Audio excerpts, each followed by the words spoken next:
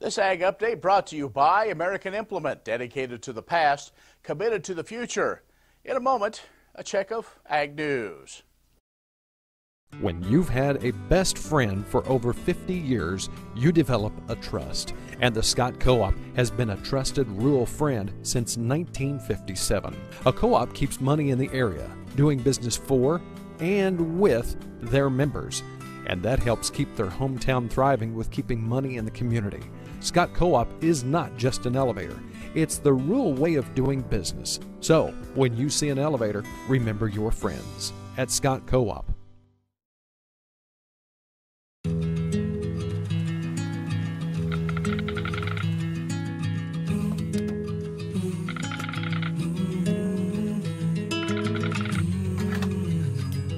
The cost of everything has gone up dramatically over the last 75 years. One exception keeping electricity affordable. Wheatland Electric, delivering energy for life, your Touchstone Energy Cooperative. Well, the Senate Ag Committee passed legislation supporting agro-biodefense. Committee chairman is Kansas Senator Pat Roberts. He says the legislation means that we're one step closer to securing a more robust defense of the nation's agriculture and food supply. The National Bio and Agri-Defense Facility Act of 2019 would authorize the Ag Secretary to use the facility as a national security laboratory protecting agriculture and food. This bill directs NBAF to carry out the relevant objectives of the Homeland Security Presidential Directive and the National Biodefense Strategy. Those are both aimed at securing the nation's food and agriculture. The $1.25 billion facility is being built in Manhattan and is expected to be operational by the year 2022-2023. The bill also outlines the national security mission of the facility and the duties of the agencies responsible for implementing that mission. More after this. Wolfter Construction and Irrigation has been around a long time, and a lot of folks have trusted them to design, build, and service all sizes of commercial and on farm storage for grain and equipment. Wolfter is also known for their outstanding irrigation division, where they stock a complete selection of nozzles, regulators, drops, gear drives, electrical, and structure components. Looking for an electric motor? Wolfter has a large selection in single and three phase. Next time, reach out to the pros who have decades of experience at taking care of business the right way. Wolfter Construction and Irrigation.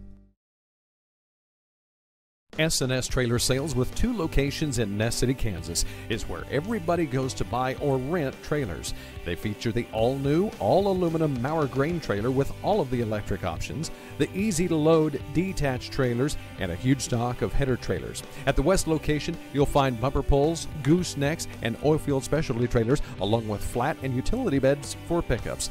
S&S Trailer Sales in Ness City and on the web, but remember, you do have to spell out the end.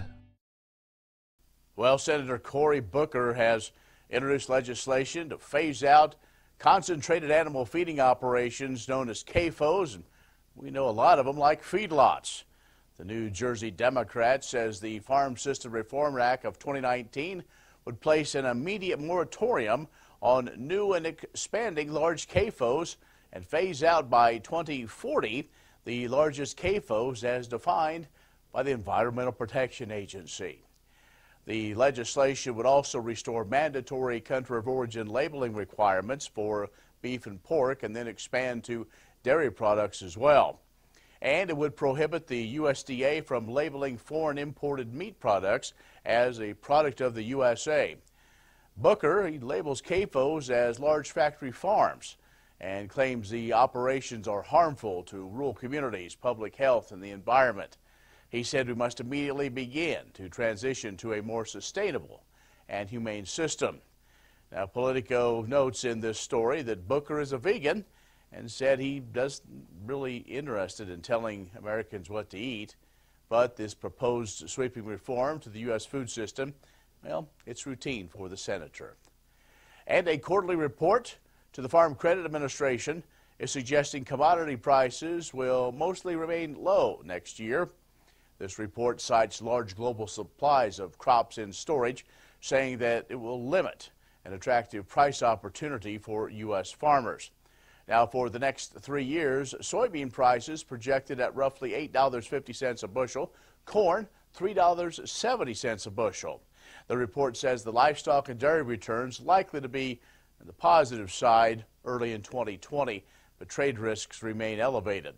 Meanwhile, the report says that while it's been a difficult year in 2019 for farmers and ranchers as they've faced trade disruptions, weather extremes, as well as low prices, crop insurance indemnities, farm programs, and market facilitation program payments continue to provide financial support to the farm economy.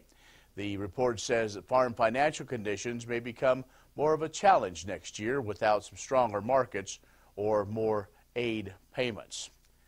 That's an Ag News update. You can stay up to date by keeping your radio tuned to 1030 KBUF for Ag News and market information throughout the day. You can like us on Facebook as well and follow us on Twitter.